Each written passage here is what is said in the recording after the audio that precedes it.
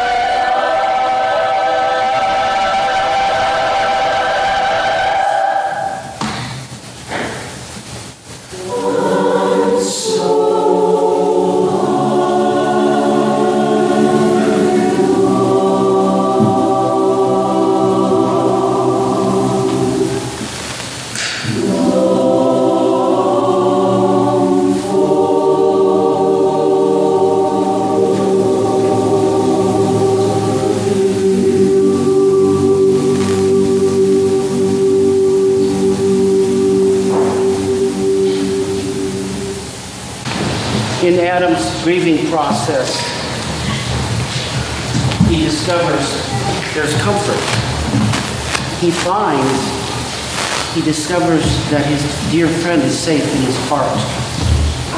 That is so profound. And he was 16 when he wrote it. He's 17 now. He wanted me to make, make you aware of that.